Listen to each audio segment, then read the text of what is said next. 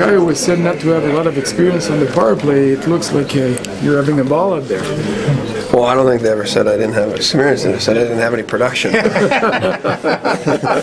no, um, no, it. Uh, we're, we're working well as a group, and um, I think that you know as it's going on that we've you know continued to to work together. You know, we've been able to work out kinks and um, you know just what we need to be looking for in certain situations and things like that. And, um, and we're trying to change it up too. Um, so we're having you know different each one of us uh, you know working the half wall and so way everyone you know each guy gets a sense of what the other guy's seeing out there and just makes it uh, a little bit you know easier on everybody when we can all get on the same page. Where are you the most comfortable in the power? Because you're a big body, you can go up front, but you know you were half wall, came down, get that shot tonight, and Yeah, I mean, yeah, it, it doesn't it doesn't really you know matter one way or another. I mean, I've I've played the point, I've played the, the weak side point, I've, uh, I've I've been you know a guy that just stands at the top of the paint, so I've been all around it. So uh, I'm comfortable in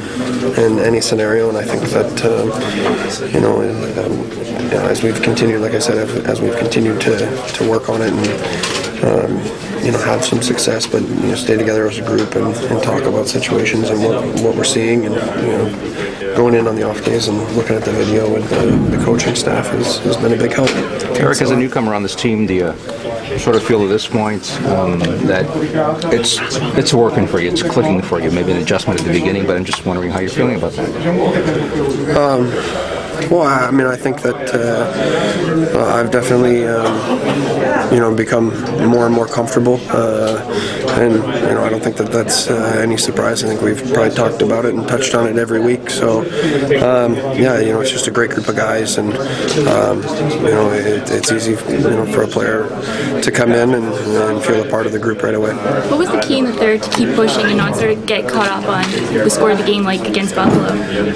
Well, I think we did a better job of getting pucks deep. Uh, we, we limited our turnovers, and we didn't, uh, you know, we, we didn't create offense for them. Uh, and when we when we did make a mistake with the puck, we had guys coming back hard and allowing our D to stand up. Our, our decoy again did a great job. Um, you know, when we come back hard for them, allows them to control their gap, and we limited their, their opportunities. Um, you know, there, there were some moments where they had a pretty good push, but uh, you know, Carey stood his ground for us, and we were able to battle some pucks out.